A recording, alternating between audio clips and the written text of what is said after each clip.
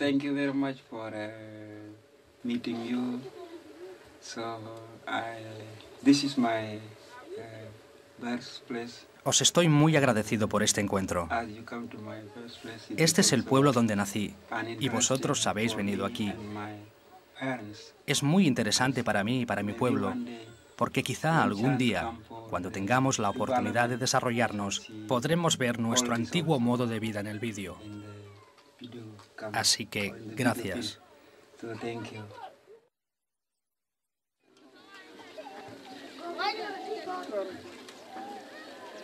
The village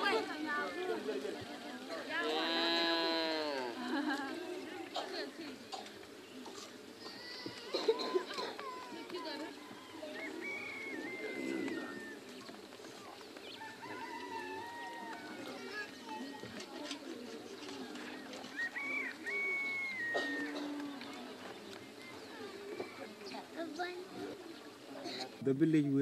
La aldea donde nos encontramos ahora se llama Pibor.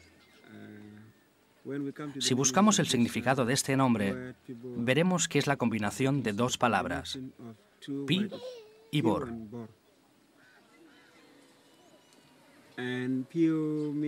Pi significa agua, bor, significa blanca. Así pues, si las unimos, decimos Pibor, agua blanca. It mean white water.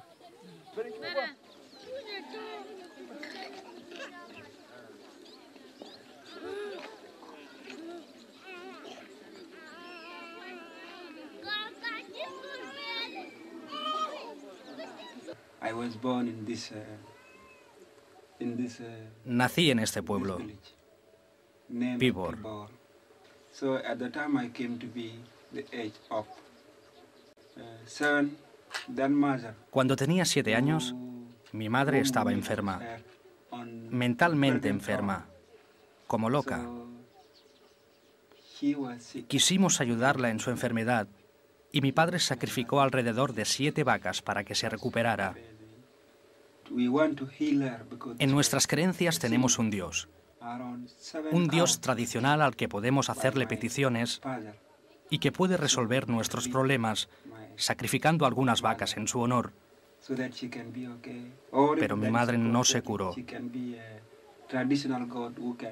Esta era la época en que el cristianismo se introdujo en algunos pueblos Nuer, tanto de Etiopía como de Sudán. Alrededor de was the time that 1982. Christianity was introduced to Ethiopia and Entonces. Alguien le dijo a mi padre que aquello no funcionaría y le aconsejaron, ¿por qué no te haces cristiano? Tal vez, si te conviertes al cristianismo, tu mujer se pondrá bien. En aquel tiempo, en mi familia, solo mi hermana era cristiana. Había un pastor por aquí, pero los cristianos eran muy pocos, alrededor de 50 si no recuerdo mal, en toda la área de Chicao. They should not reach 50 from all Joko, Así que mi padre fue a presentarse a este pastor y le dijo, tú me harás cristiano y así tal vez mi mujer se cure de su enfermedad mental. El pastor le dijo, muy bien. Y un día vinieron a casa, el pastor y otro tipo llamado James Tembler, que precisamente ahora se ocupa del área de Chicao. Como decía, vinieron a nuestra casa estos dos pastores, junto con algunos jóvenes cristianos, y quemaron los dioses tradicionales que teníamos enfrente de nuestra casa. Quemaron y quemaron, lo quemaron todo y dijeron, ahora ya no estáis del lado de Satanás, ahora estáis del lado de Jesús. Lo que tiene tu mujer son demonios satánicos, pero se pondrá bien, pues los demonios temen a Jesús. Y al poco tiempo de que se fueran, ella se liberó. Se curó. Desde entonces me convertí al cristianismo, la familia entera. Mi padre, mi madre y mi hermana. Todos éramos cristianos.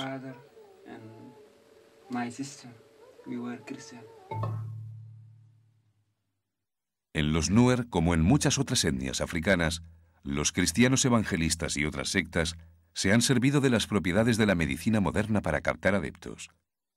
A la madre de Pell la curaron con fármacos contra la migraña, aprovechándose de la ignorancia de la familia, a la que hicieron creer que la curación se debió a su conversión al cristianismo y al abandono de sus tradiciones y creencias ancestrales. Los Nuer son una etnia animista que cree en la vida, en la tierra, en el sol, en la libertad. Las gentes del norte de Sudán les dicen que tienen que ser musulmanes, los misioneros les dicen que tienen que ser cristianos, y lo que no les dejan es ser ellos mismos.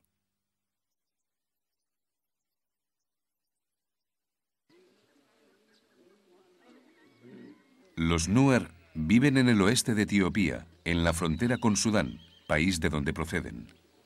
Es una etnia de origen nilo-sahariano que se desplazó a Etiopía huyendo de la guerra civil que hay en Sudán desde hace más de 20 años entre los musulmanes del norte y los animistas cristianos del sur. Al desplazarse a Etiopía, invadieron un territorio ocupado por otra etnia, los Anuak, lo que ha provocado un conflicto entre las dos etnias y que miles de Nuer deban convivir en campos de refugiados de Etiopía, como es el caso de Pel.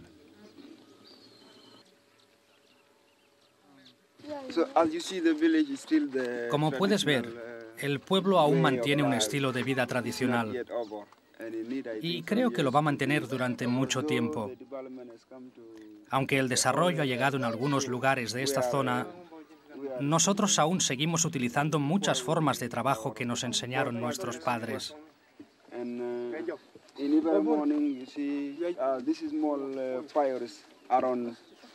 Cada mañana construyen y encienden estos pequeños fuegos junto al ganado.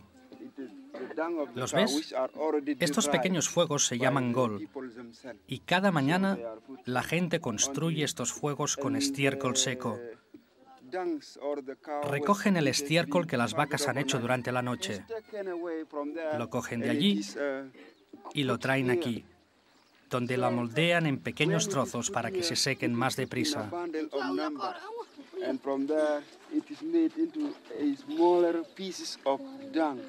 so as to dry sooner and sooner. After this, uh, in this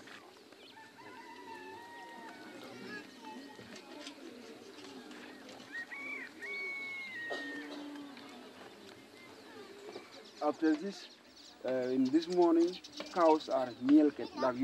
Después de esto, durante la mañana se ordeñan las vacas.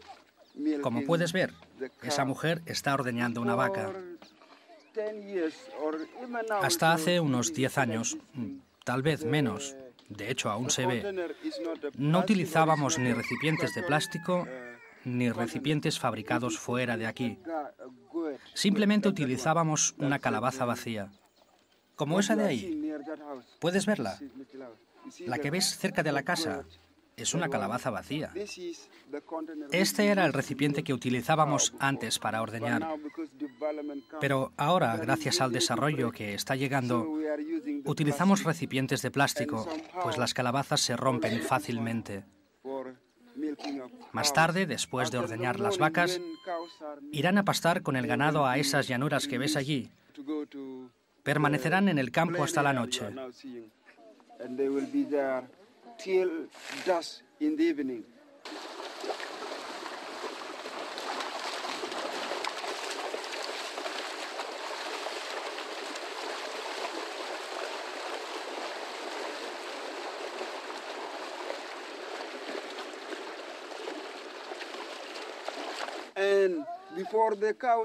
Antes de que estas vacas y terneros que estás viendo vuelvan a la aldea, los excrementos ya estarán secos. Los juntarán, harán un montoncito y los encenderán. Se encienden estos fuegos llamados gol para que produzcan un humo muy fuerte. La razón de los gol es el humo. Este humo es muy útil para las vacas, pues ahuyenta a las moscas. Por la tarde volverán a ordeñar las vacas. Las ordeñan cada dos días, perdón, dos veces cada día, mañana y tarde.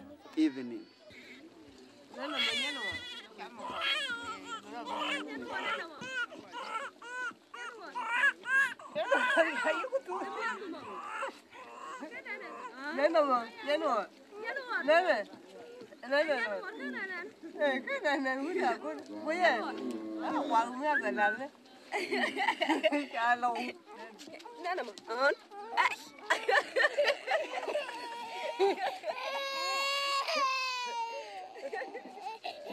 Ý à? Quỷ của bà bác.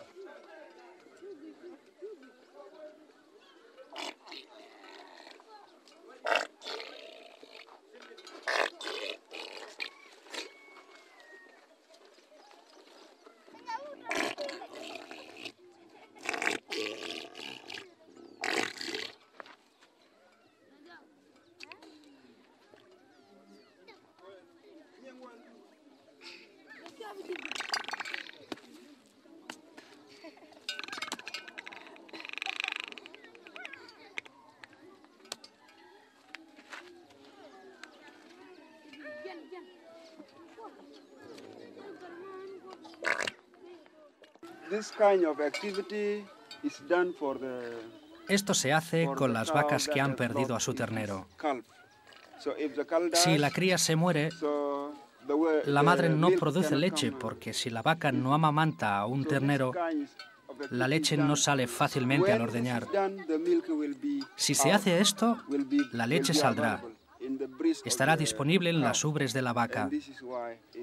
Se hace para mantener la vaca productiva durante unos pocos meses más. Tradicionalmente así lo creemos.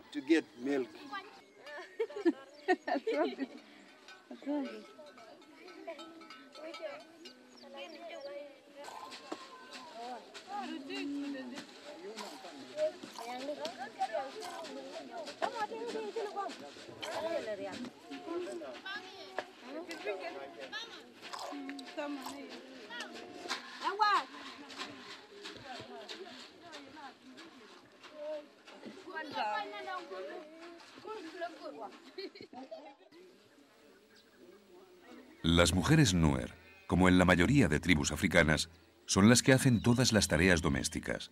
Preparar la comida, mantener la casa, cuidar a sus hijos, trabajar en el campo, ir a buscar agua, leña.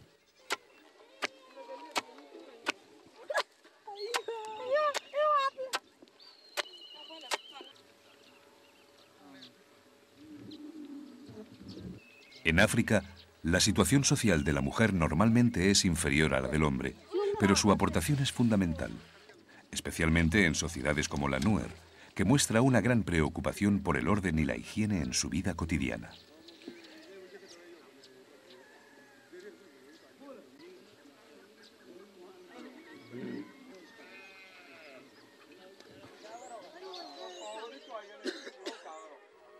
Los hombres tienen un papel muy importante en la educación de los hijos y en la protección del poblado. Sienten una gran curiosidad por todo tipo de cosas, por aprender y saber lo que ocurre en otros lugares. Este interés lo transmiten a sus hijos. En la actualidad, muchos jóvenes sueñan con ir a Europa, Australia, Estados Unidos o Japón. Les gustaría tener la oportunidad de poder viajar a uno de estos lugares para escapar de la guerra, estudiar y aprender algún oficio. Entre los que lo consiguen, algunos regresan para enseñar a los suyos todo lo que han aprendido. Este interés por adquirir nuevos conocimientos hace que en cualquier lugar Nuer, por recóndito que sea, pueda encontrarse gente en general muy bien vestida que habla inglés, aprendido por cuenta propia y que tienen amplios conocimientos del mundo. Los Nuer viven junto al río durante la época seca. Cuando llegan las lluvias, sus pueblos se inundan y se ven obligados a desplazarse a pueblos que en la época seca están abandonados. De hecho, tienen dos lugares de residencia, uno para la época seca y otro para la época de lluvias.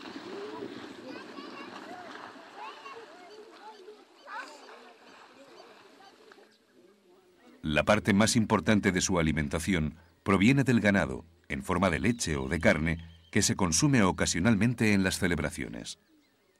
Otra parte importante proviene de sus cultivos, sorgo y maíz.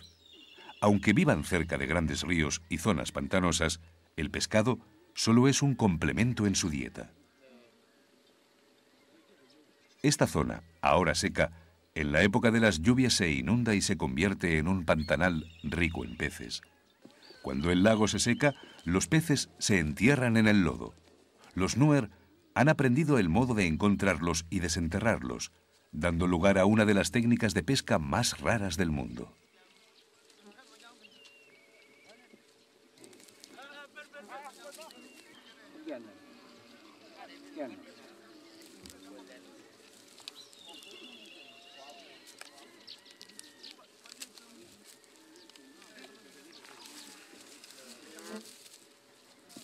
A esta especie de anguila le llaman el pez durmiente.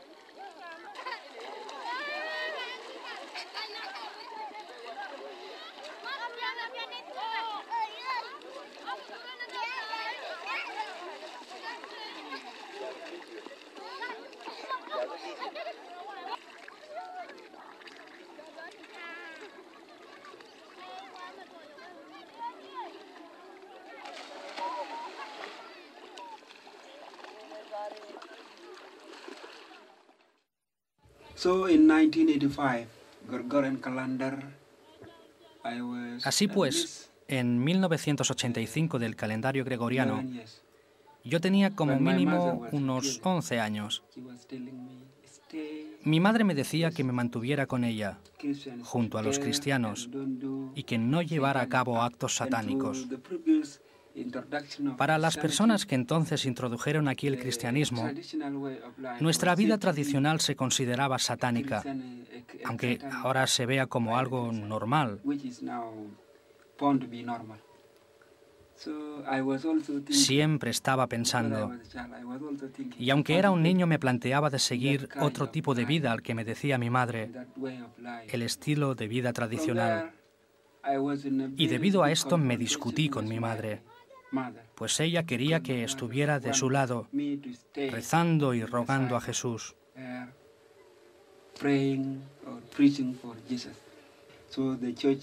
Los evangelistas y algunos ancianos de la iglesia enseñaban a leer y a escribir en la lengua Nuer. Yo lo aprendí para poder leer la Biblia. Así que hacia finales de 1985 yo iba a la iglesia y rezaba tranquilamente. Mi madre me decía, por favor, ve a la escuela. Por aquel entonces, desde que se convirtió al cristianismo, nunca más tuvo problemas mentales. Estaba curada, libre de espíritus malignos.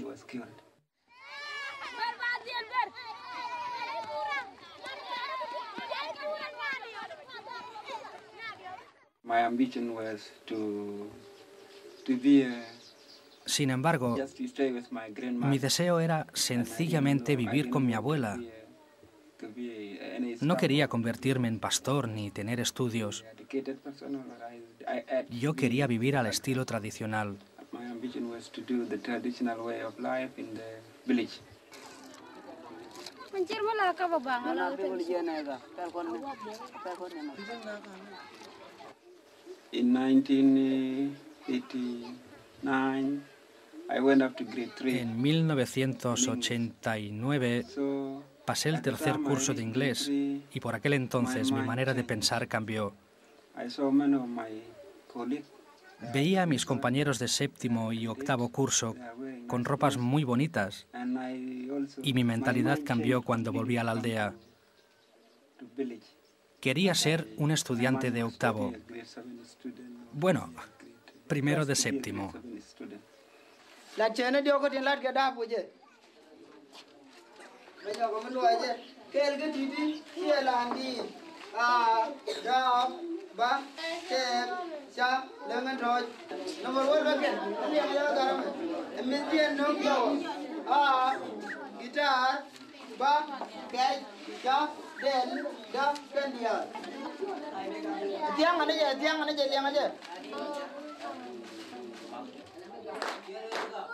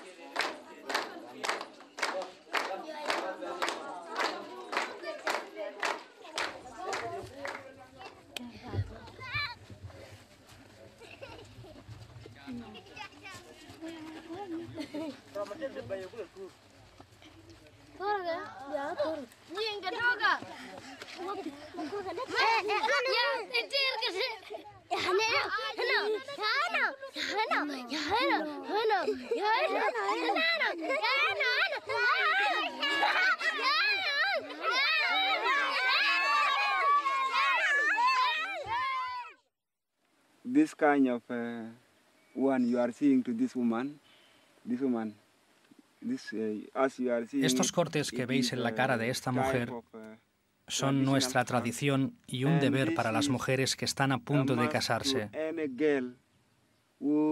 uh, Si una mujer no se hace los cortes, no se considera una mujer, aunque se haya casado. Tradicionalmente las And, chicas también se lo hacen para embellecerse.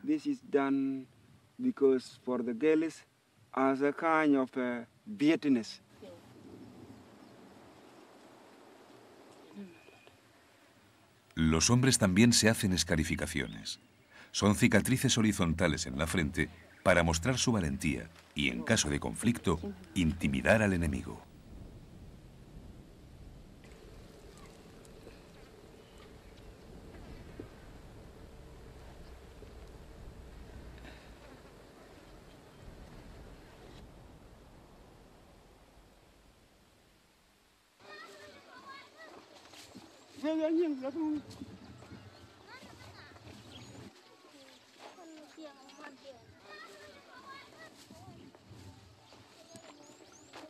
Mali. Eji man chana wani. Law biyan ga. ko dakan na jaka ka wat Ba wel ba wel ko. Ba wel ganu ko ta.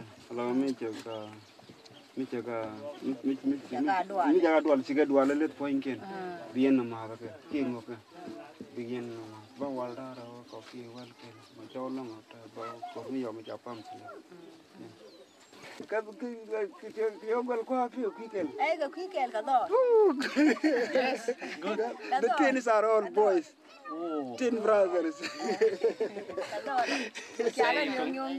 Saya congratulations. Ya, Darina. Yeah. Darina, he told me the twins of my sister are all brothers. They are boys. Kaya ni charge? Eh, ai ah, They are eh, identical also. kal kal si shola kan lo eh, ka la cha la shola Yeah. ka cha la shola Yeah. ka ku per Yeah, ah, they are identical twins, she said.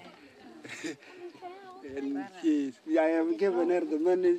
Ah. They are going to buy now maize, and they will take it to grinding mill. Tomorrow they will go to Sudan border. longa ye garo mo go tibi da go wara mi jan kwa me le na tel mi jan wara ro ga da ba wara ta me ne me ne to wara ka do woken ya kai mi jan wo bi a je le ba bi a da mi jan wo ro lam na de long ro ba ngwa ko mi chi ga ja ba jan re ya cham chi ga cham je ga ma pa nga ka Oh, ngay con chuyện này. Mình đã đi đi hồ cả. Mình nhảy cho nó ana bi ana wala ko gi gaba ana bana kuluru mm.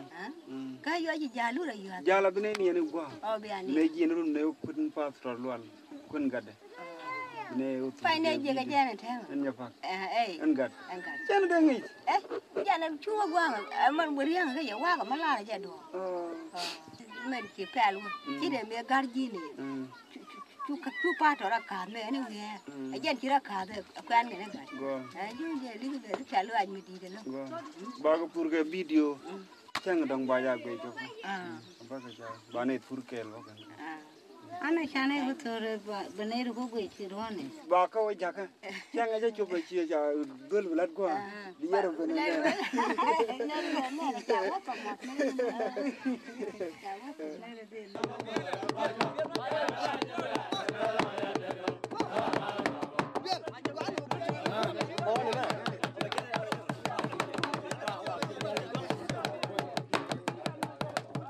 Yeah.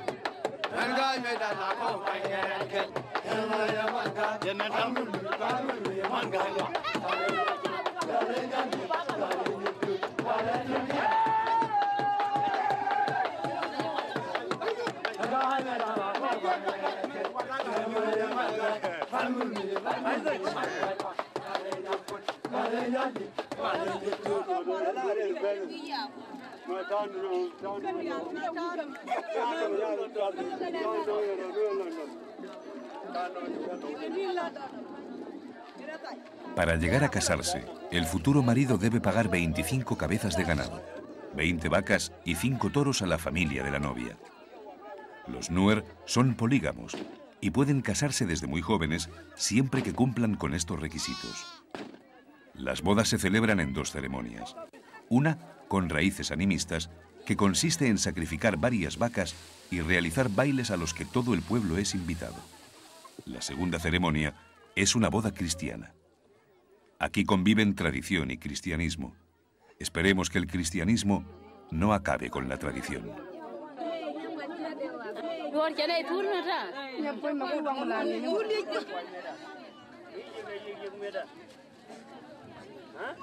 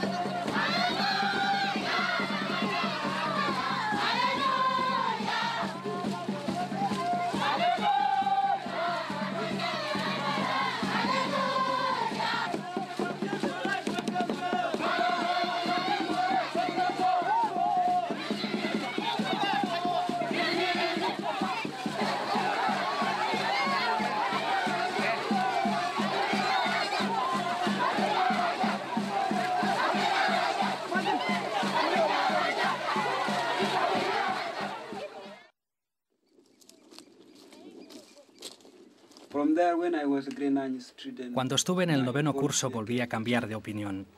Por aquel tiempo quería ser médico en esta ciudad. Algunas personas de Gambela iban a Kenia y de Kenia hasta América. Se iban al Canadá. Ellos me decían, vámonos, vamos a América. Pero yo no quería. Y les decía, yo me quedo. Quiero ser médico en Gambela. Así pues, ellos se fueron y yo me quedé.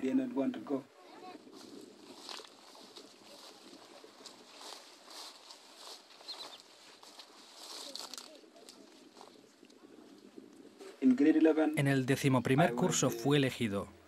Fui seleccionado para estar en el equipo de ciencias naturales, tal como elegí. Mi puntuación fue 100 en geografía, 91 en historia, 88 en inglés, 88 en química, 75 en biología, 62 en matemáticas y solamente 49 en física. En el duodécimo curso volví a cambiar de objetivo. Por aquel tiempo estaba en Addis Abeba.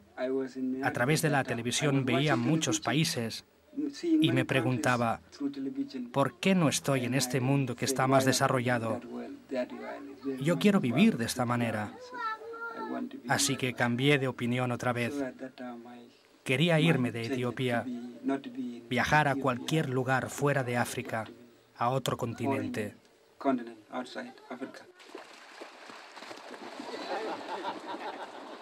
Yeah,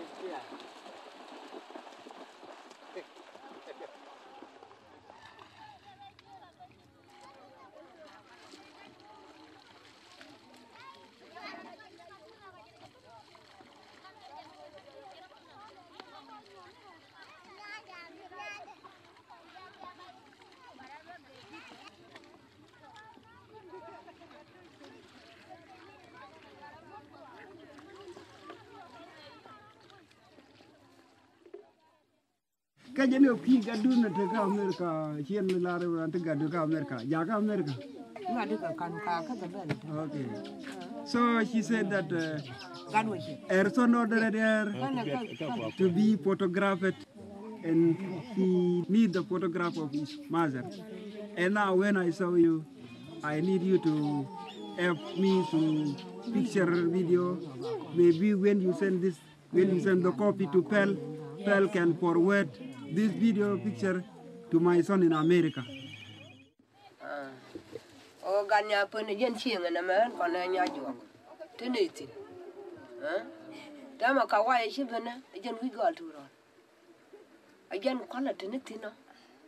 Kunai le gui kon đi jo gen chieng da na ni biyu bigani. Ajen dole banya tinana ma. Ko guro to jo du. Ko char ma bujeko jandoro kwa gata romtin. Janya tangal na.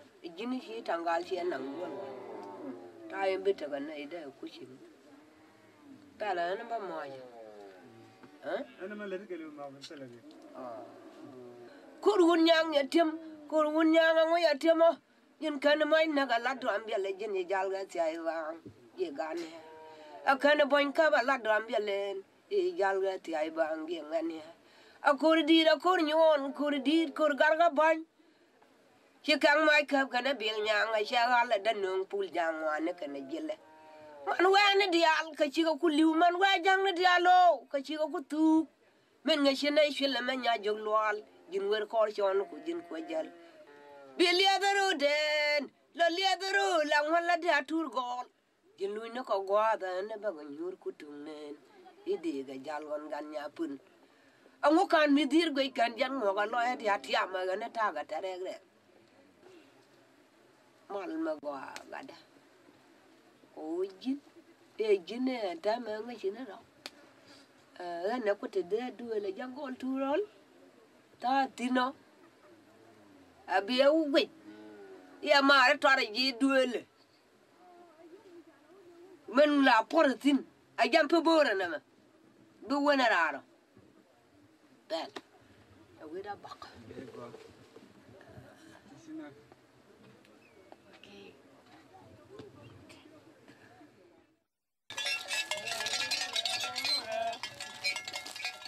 Cada día los Nuer cantan canciones y bailan para su ganado. Es una forma de manifestar que para ellos es el bien más preciado que tienen y su principal medio de subsistencia. Estos bailes también tienen una simbología guerrera y les ayudan a estar siempre en guardia frente a conflictos que puedan surgir con otras etnias, en especial con los Anuak eh, El conflicto Nuer y Anuak viene de lejos. Hace tiempo que hay disputas, pero en ellas no estaba implicada toda la región. Eran simplemente pequeños conflictos entre algunos pocos Nuer y algunos pocos Anuak. from Nuer and a little village from Anuak. But in 1991, Pero en 1991 del calendario gregoriano o calendario europeo, 1983, que es 1983 en el calendario etíope, el partido del DERC que gobernaba Etiopía, encabezado por el presidente Mengistu Haile Mariam, fue derrotado por el actual régimen de Meles Zenawi.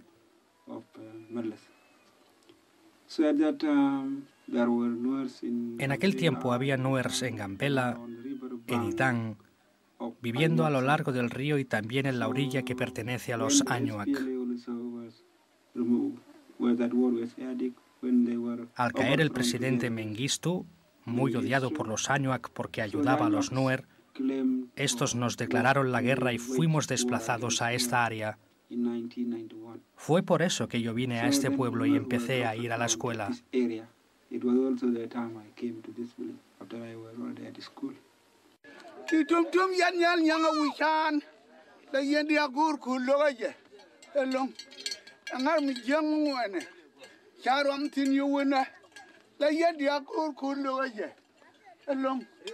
el gol te le mal.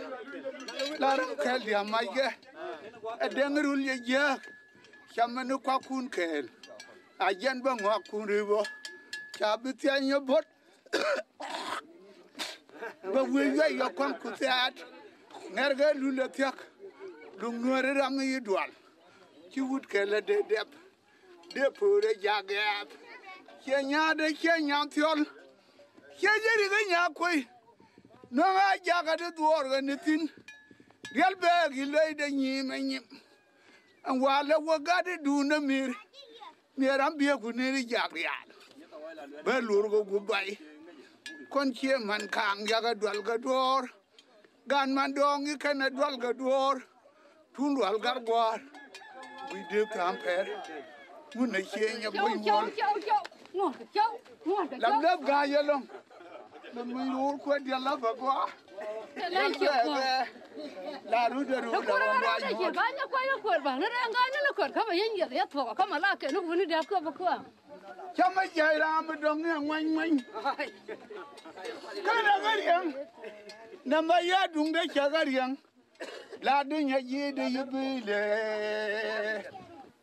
And in 1992 Gregorian calendar, which is 84 of Ethiopia, En were- 1992 del calendario gregoriano, que es 1984 en el calendario etíope, almost 13 hubo una gran guerra. Estábamos durmiendo 13 Nuers en un dormitorio de un campo de refugiados. Por suerte, seis no estaban. Se fueron a resolver unos asuntos, pero quedamos siete durmiendo allí. Estaba muy oscuro, pues en aquel tiempo no había electricidad. Un Anuak trató de matarnos lanzando una granada dentro de nuestro dormitorio. Yo estaba durmiendo y no recuerdo nada. No me acuerdo ni siquiera del ruido de la explosión, solo del olor de la bomba. Algo así como a gasolina quemada. Solo uno de nosotros salió ileso, pero los otros seis resultamos heridos. Yo fui uno de los que se llevó la peor parte. Me entró metralla por todo el cuerpo, en el estómago, aquí también, aquí. Dos aquí. Mira las manchas negras, Incluso aquí también. todo lleno de metralla.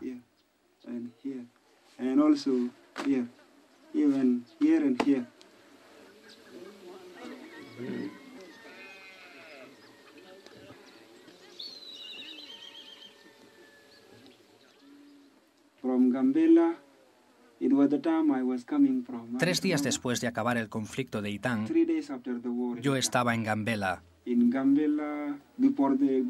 Venía de Addis Abeba y cerca de la estación de autobuses algunos pasajeros querían bajar. En este lugar los Anuak entraron e intentaron matar los Nuer que estaban en el autobús. Estuvieron a punto de matar a un hombre mayor. uh, Le golpearon con un palo muy grande que tenía metal en la punta y le clavaron un cuchillo en el costado. Dos días después, los Anuak mataron a un Nuer y al día siguiente, los Nuer se vengaron y mataron a un Anuak en Gambela.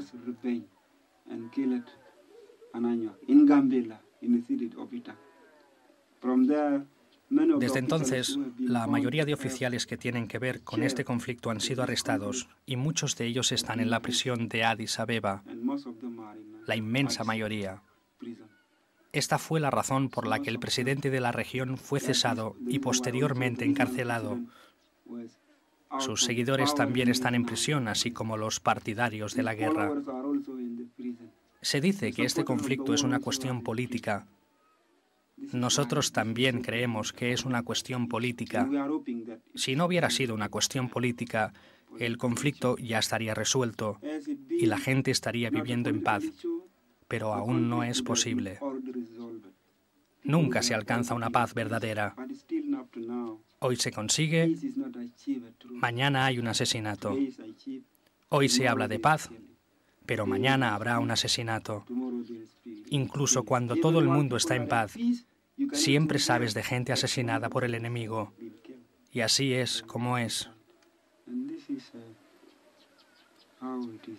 Last year in July 2002, En julio del 2002 hubo otra confrontación entre los Nuer y los Anuak por tener el control de Itang. uh, Itang. Muchos Anuak murieron, unos killed, 30, up to 30. niños incluidos. Los Anuak fueron derrotados y eso desencadenó la división de la región de Gambela, donde viven tanto Anuak generate como Nuer.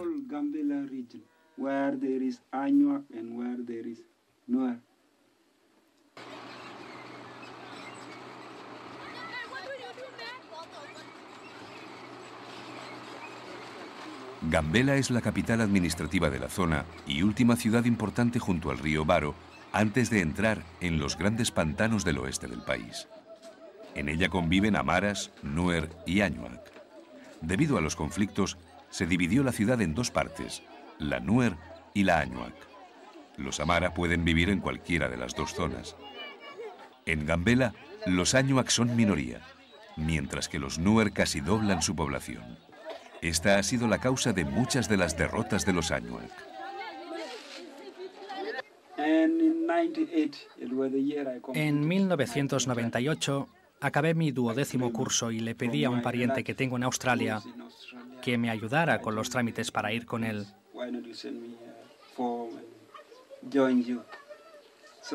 Knew Él aceptó mi petición y me envió unos formularios, formularios médicos. 850. And in 1999, En 1999 fui aceptado para ir a Australia por el representante de inmigración de aquel país en Nairobi. Me hicieron muchas preguntas. ¿Dónde está mi familia? ¿Dónde está mi mujer? ¿Dónde están mis hermanos? 2000 we went to medical checkup. My brother was En el 2000 nos hicieron una revisión médica y los resultados se enviaron a Nairobi. he said, "Your brother El doctor nos comunicó TB." que mi hermano tenía tuberculosis. Me dijeron que para aceptarme debía aportar pruebas de que yo no la tenía. Me estuve haciendo revisiones y enviando pruebas médicas cada seis meses al Departamento de Inmigración de Australia en Nairobi, pero sin resultados positivos. Dijeron que no podían aceptar a ninguna persona que pudiera ser tuberculosa porque podría provocar una epidemia en su país.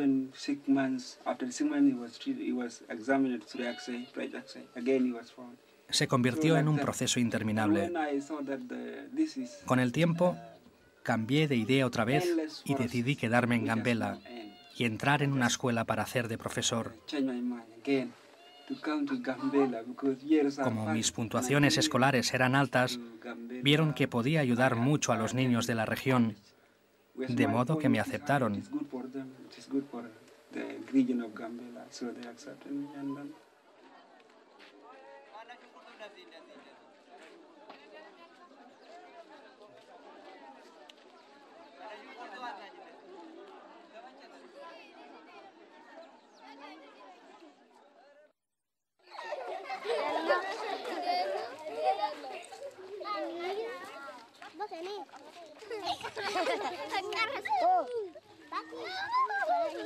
Read and write the words.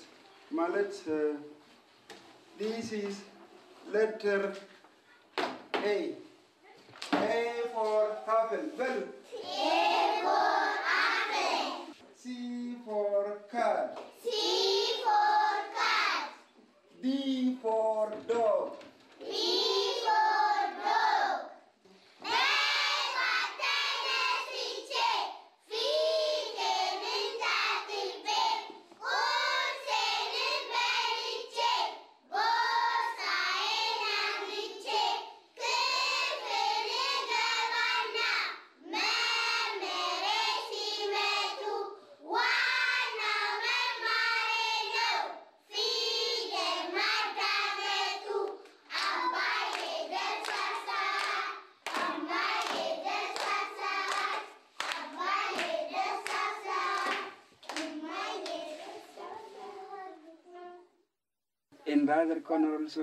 Hace poco entré en la Unification Church, una iglesia fundada en Addis Abeba por el reverendo coreano San Myung Moon y que predican la voluntad de este pastor.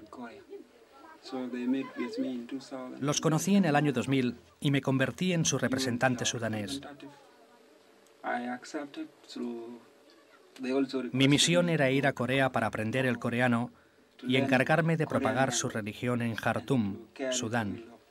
Them even to Khartoum, Sudan. I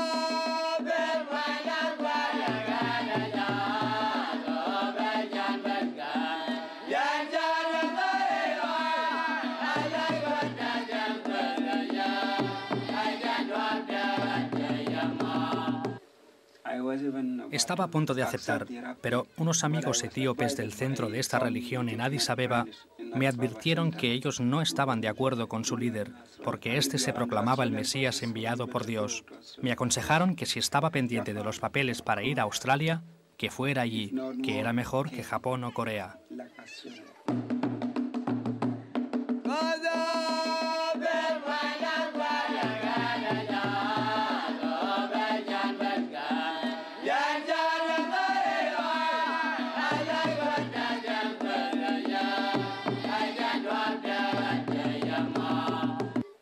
I said this to my spiritual mother who funded me. She said, okay, if you want to Se lo dije a mi madre espiritual y me dijo que si quería ir a Australia, que fuera, pero que intentara vivir en Sydney o en Melbourne, donde tienen centros. Así que volví a cambiar de opinión y aún no sé lo que haré. No lo sé. Tengo tres opciones posibles. like to be in Australia Ir a Australia quedarme en Gambela o ir a Japón. Y así es como ha ido mi vida.